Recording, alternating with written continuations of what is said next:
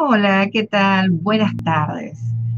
Hoy, una fría tarde, comenzamos el primero de septiembre de 2020, bastante fresquito aquí en Argentina, Buenos Aires, pero vamos a continuar de esta manera con los animales de poder.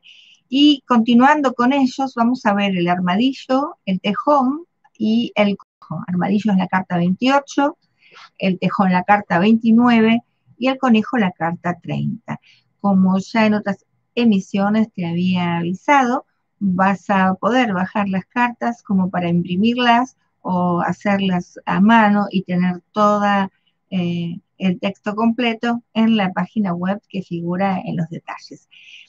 Si el armadillo es la carta que obtuviste o que sacaste del mazo, si has elegido a este armadillo, la palabra es fronteras, los límites y sabes qué, es momento de definir tu espacio.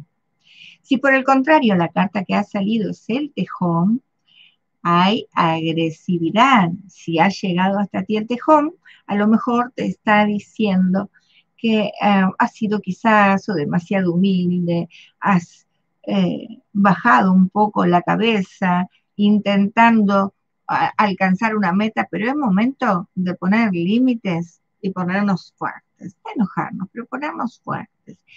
Y si la carta que ha sacado es el conejo, la gente del conejo tiene miedo, esa es la palabra, es asustadiza, tiene miedo a las enfermedades, miedo a salir afuera, miedo que, que pase un desastre, miedo a que se burlen de ella. Así que hay que estar atento a la continuación de estas definiciones para que hagas tu propia búsqueda están en la página web estrelladeluz.org. Te esperamos y vamos a continuar con estas emisiones de los animales de poder y al final vamos a ver cómo se hace el juego con las cartas, vamos a ver cómo em, eh, podés encontrar tu animal de poder, hay muchos métodos, así que eh, al final de todas estas definiciones o introducciones vamos a ver cómo trabajamos con estas cartas. Gracias por estar allí.